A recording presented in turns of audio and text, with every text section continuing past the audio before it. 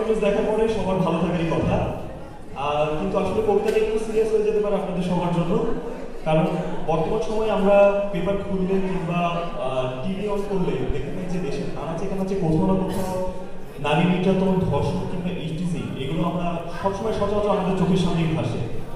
তো সংখ্যালঘু এই নির্দিষ্ট জাতির উপর জানাই ধিকার আর সচেতনতা বাড়াতে চাই আমাদের সবার প্রতি পুরুষ জাতি মানে কোনো সংশয় নয় এটি হোক নারীর অন্যতম এক শক্তি।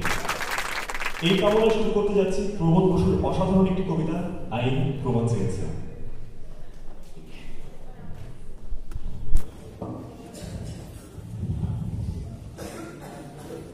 ললিত, খুন করেছে শ্যামলকে।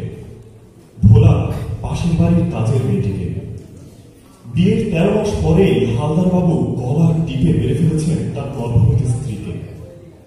নলিবালার অবর্তমানে তার পঞ্চাশ বছরের জীবন সঙ্গী প্রাণ কিশোর চেটে উঠে খেয়েছে তার পুত্রবধূ যৌবন ঘুমন্ত মেয়ের বুকে আলতো হাত ঠেকিয়ে বাবা হিসেবে নিয়েছেন সামাজিক ঢেউয়ে।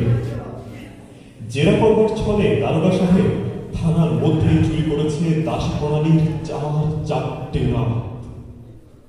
আর কোচিং ফেরত বড় মাকে অন্ধকারে নষ্ট করেছে পাঁচজন কাপুরুষ শয়তান।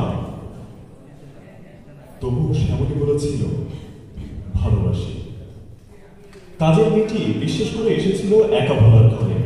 মৃত্যুর আগ মুহূর্তে হালদার বাবুর পাহাড় ধরে ডুবলে উঠেছে তার স্ত্রী। আমাকে মেরো না। তুমি যা চাও তাই পাবে। প্রাণ কিশোরের বৌমা বলেছিল আমি তো আপনার মেয়েরই মতন বাবা। শরীরে বাবার কাম হাহাকারে ভরে মরল মেয়েটি। পায়ে ধরে করালিও কেঁদেছিল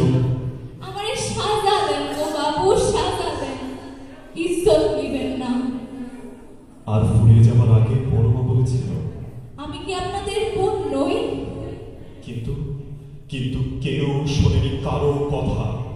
আইন প্রমাণ চেয়েছে। এই রিপু তুমি এদের এত কান দিলে কই? প্রমাণ দেবে না?